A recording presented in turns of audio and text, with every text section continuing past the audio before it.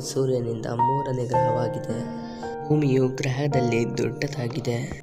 ನಮ್ಮ ಸೌರವ್ಯೂಹದಲ್ಲಿ ಗ್ರೀಕ್ ಅಥವಾ ರೋಮನ್ ದೇವತೆಯ ಹೆಸರನ್ನು ಇಡದ ಏಕೈಕ ಗ್ರಹ ಎಂದರೆ ಭೂಮಿಯಾಗಿದೆ. ಇವು ಸರಿಸುಮಾರು ನಾಲ್ಕು ಪಾಯಿಂಟ್ ಐದು ನಾಲ್ಕು ಶತಕೋಟಿ ವರ್ಷಗಳ ಹಿಂದೆ ರೂಪುಗೊಂಡಿತು ಮತ್ತು ಜೀವನವನ್ನು ಬೆಂಬಲಿಸುವ ಏಕೈಕ ಗ್ರಹವಾಗಿದೆ ಭೂಮಿ. ನೋಡೋಣ ಭೂಮಿಯ ಇಂಟ್ರೆಸ್ಟಿಂಗ್ ಫ್ಯಾಕ್ಟ್ಸ್ಗಳು ಭೂಮಿಯ ತಿರುಗುವಿಕೆ ಕ್ರಮೇಣ ನಿಧಾನವಾಗುತ್ತಿದೆ. ನೂರು ವರ್ಷಕ್ಕೆ ಸರಿಸುಮಾರು ಹದಿನೇಳು ಮಿಲಿಸೆಕೆಂಡ್ಗಳಷ್ಟು ಈ ಕುಸಿತವನ್ನು ಬಹುತೇಕ ಅಗ್ರಹಾಯವಾಗಿ ನಡೆಯುತ್ತಿದೆ. ಆದರೂ ಅದು ಸಂಭವಿಸುವ ಸಂಪೂರ್ಣವಾಗಿ ಏಕರೂಪವಾಗಿಲ್ಲ. ಇದು ನಮ್ಮ ದಿನಗಳನ್ನು ಹೆಚ್ಚಿಸುವ ಪರಿಣಾಮವನ್ನು ಹೊಂದಿದೆ. ಆದರೆ ಇದು ನಿಧಾನವಾಗಿ ಸಂಭವಿಸುತ್ತದೆ.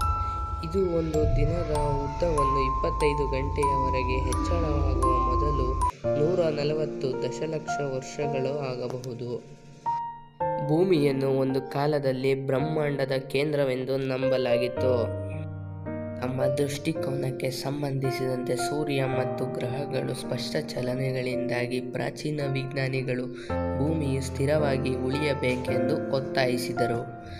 ಆದರೆ ಇತರ ಆಕಾಶಕಾಯಿಗಳು ಅದರ ಸುತ್ತ ವೃತ್ತಾಕಾರದ ಕಕ್ಷೆಗಳಲ್ಲಿ ಪ್ರಯಾಣಿಸುತ್ತಿದ್ದರು. ಅಂತಿಮವಾಗಿ ಸೂರ್ಯನು ಬ್ರಹ್ಮಾಂಡದ ಮಧ್ಯದಲ್ಲಿದ್ದಾನೆ ಎಂಬ ಅಭಿಪ್ರಾಯವನ್ನು ಕೋಪರ್ನಿಕಸ್ ಪ್ರತಿಪಾದಿಸಿದನು. ಆದರೂ ಅದು ಆಗಲ್ಲ. ನೀವಿನ್ನೂ ನಮ್ಮ ಚಾನಲ್ಗೆ ಸಬ್ಸ್ಕ್ರೈಬ್ ಆಗಿಲ್ಲ ಅಂತ ಅಂದರೆ ರೆಡ್ ಕಲರ್ ಬಟನನ್ನು ಒತ್ತಿ. ಮತ್ತೆ ಅದರ ಪಕ್ಕದಲ್ಲೇ ಕಾಣ್ತಿರೋ ಬೆಲ್ ಐಕಾನನ್ನು ಒತ್ತಿ.